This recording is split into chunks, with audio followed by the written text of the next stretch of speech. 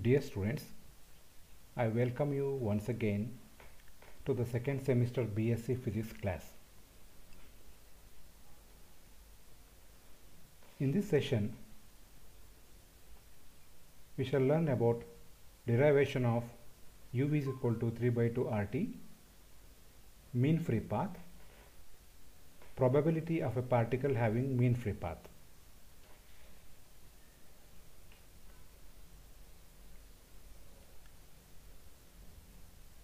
We know that a monoatomic gas molecule has one atom. From the earlier discussions, we know that each molecule has 3 degrees of freedom. Also, in the previous session, we have learnt about the law of equipartition of energy. According to the law of equipartition of energy, the energy associated with each degree of freedom is equal to half kT, where K is Boltzmann constant and T is absolute temperature.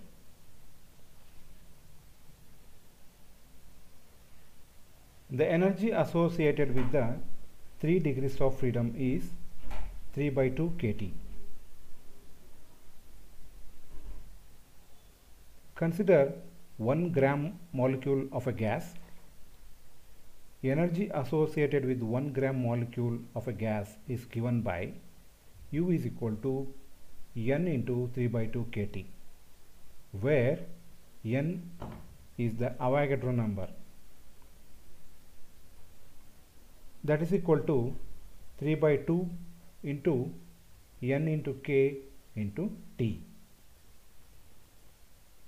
Since n into k this product is equal to r where r is the gas constant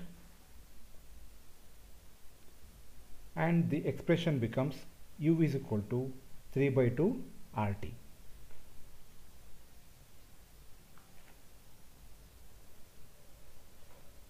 This is the expression for internal energy of the gas for an ideal gas, it depends upon temperature only. Now we shall discuss about mean free path. We may recall that in elementary kinetic theory, gas molecules are considered as point masses and intermolecular collisions are ignored. Clausius assigned a fine size, a finite size to a gas molecule.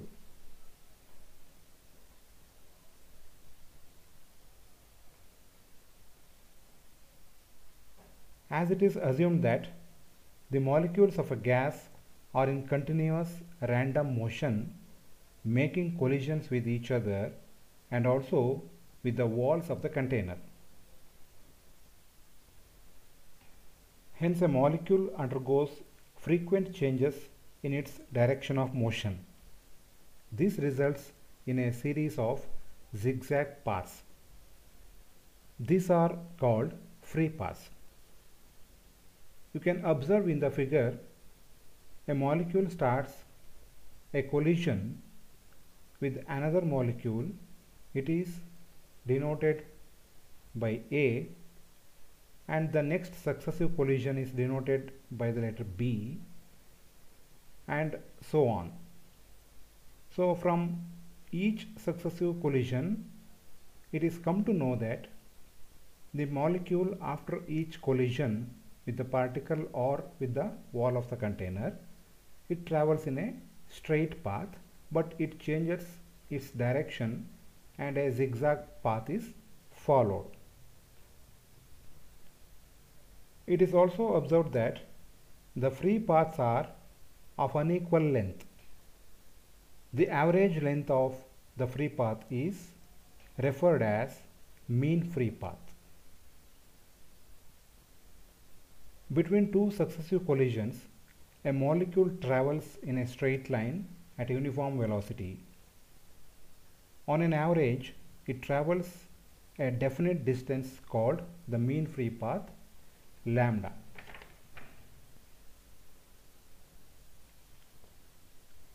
We can define mean free path as the average distance traveled by a molecule between two successive collisions.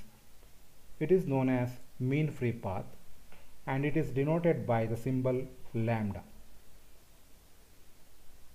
If lambda 1 comma lambda 2 lambda 3 etc lambda n are the successive free paths traveled by the molecule in time t and n denotes the total number of collisions suffered in this period we can write lambda is equal to lambda 1 plus lambda 2 plus lambda 3 plus etc plus lambda n divided by n that means the mean free path is equal to the ratio of total distance traveled to the total number of collisions.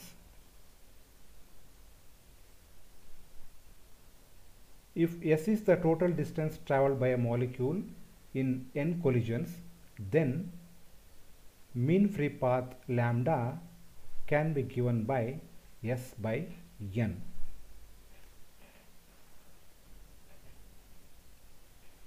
Now, let us try to derive an expression for mean free path. Suppose the gas is made up of molecules which are hard spheres of diameter d. To simplify the calculations, we assume that only the molecule under consideration is in motion and all others are at rest. The sphere of influence of the molecule has a diameter d. In other words, it means that the molecule can collide only with those molecules the centers of which lie at a distance d or less. From the figure, we can understand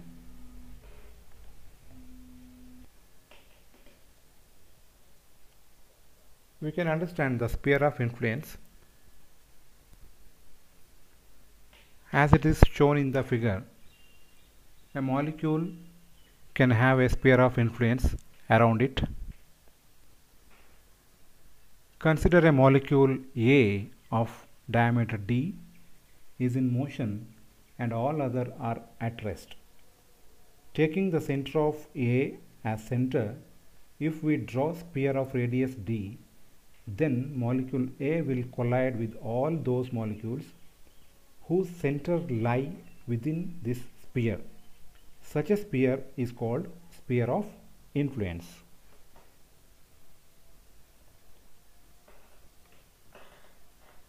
From the figure,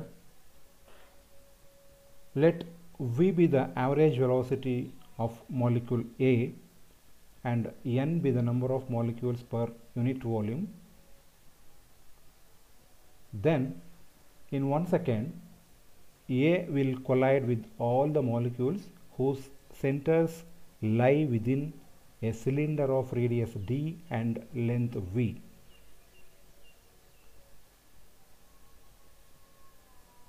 Number of molecules in the cylinder is equal to pi d square vn that is equal to number of collisions per second that is denoted as n. Therefore, collision takes place in 1 by pi d square vn seconds. The time interval between two successive collisions is equal to 1 by pi d square vn seconds. Therefore, distance between two successive collisions is equal to speed into time. That is equal to v into 1 by pi d square vn that is we have substituted for speed and time that will be equal to 1 by pi d square n. Therefore mean free path lambda is equal to 1 by pi d square n. This is the Clausius expression for mean free path. It is seen that lambda is inversely proportional to the cross-sectional area of the molecules and the density. Since the molecule collides with all other moving molecules, the number of collisions per second gets increased.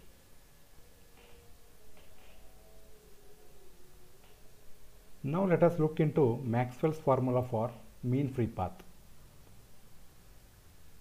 Clausius expression for the mean free path is not exact because it is based on the assumptions that only one molecule under consideration is in motion while all the other are at rest. If the motion of all the molecules is taken into account and the Maxwell's law of distribution of molecular velocities is applied, which must hold steady state, the corrected formula for mean free path is lambda is equal to 1 by square root of 2 into pi d square n. This is Maxwell's formula for mean free path. Collision frequency can also be given as f is equal to v by lambda where v is the average velocity of the gas molecule.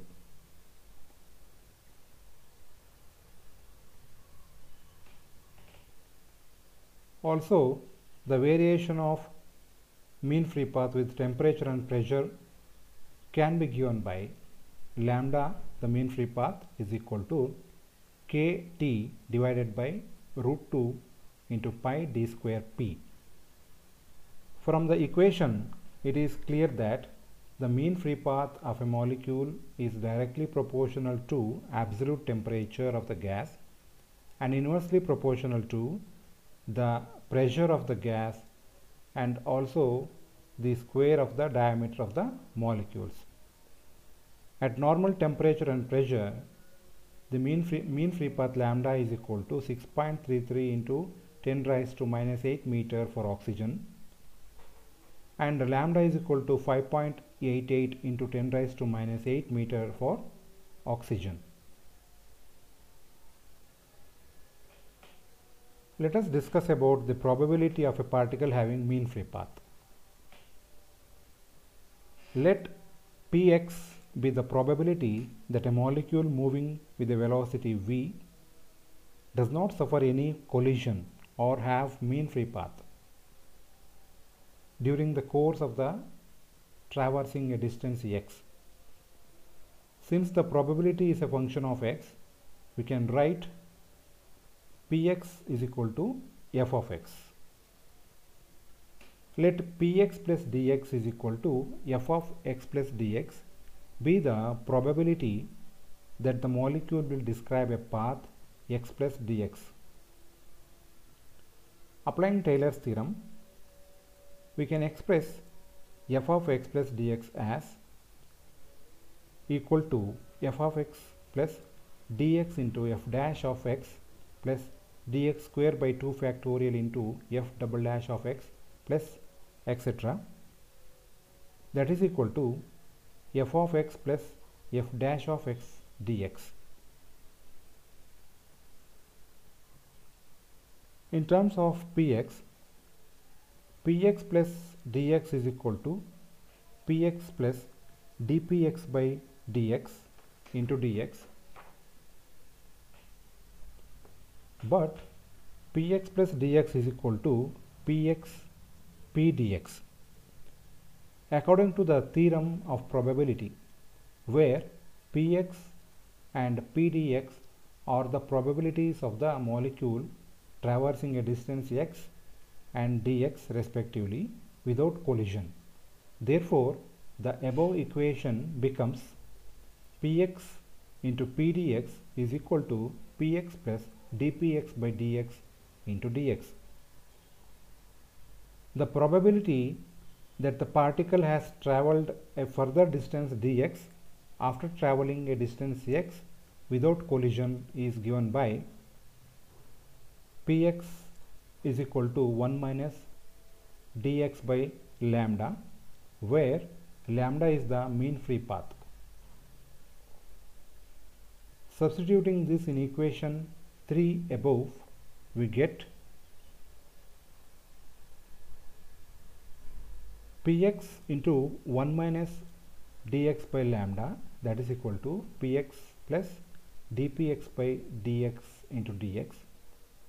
This can be expressed as f of x into 1 minus dx by lambda that is equal to f of x plus d of f of x by dx into dx. By simplifying this we get the expression that is f dash of x divided by f of x is equal to 1 divided by lambda with a minus sign. Integrating this we get log f of x is equal to minus x by lambda plus log a where a is the constant of integration. Therefore, log of f of x divided by a is equal to minus x by lambda or f of x by a is equal to e to the power minus x by lambda and we can write f of x is equal to a into e to the power minus x by lambda or px is equal to a into e to the power minus x by lambda because f of x is equal to px. At x is equal to 0, px is equal to 1 and a is equal to 1. Therefore, px is equal to e to the power minus x by lambda. This gives the probability of a molecule having mean free path.